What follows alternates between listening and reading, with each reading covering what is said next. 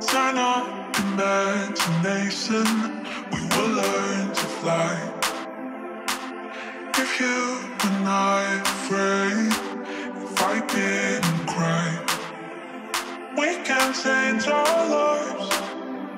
Listening to the world from the inside out. We can feel our bodies getting closer and closer to